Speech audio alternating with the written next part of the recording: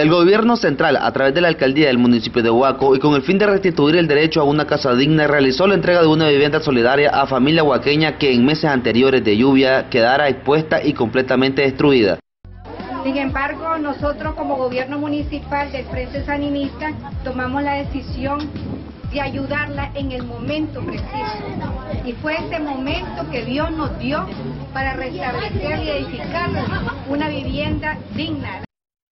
Doña Aracelis Miranda, beneficiada con esta casa solidaria, expresó lo agradecida que se encuentra primeramente con Dios y luego con el presidente, ya que ella es una mujer de escasos recursos.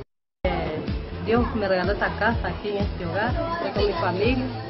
Gracias a ustedes, la, primero a la alcaldesa y a ustedes. le doy gracias a Dios porque lo dio esta casita al comandante Daniel Ortega, al comandante Rosalino y a la, a la alcaldesa. De esta manera queda demostrado una vez más que solo con este buen gobierno que preside el presidente Daniel Ortega se ven restituidos los derechos de las y los nicaragüenses. Desde el departamento de Huaco en Crónica, TN8 les informó Ariel Mena.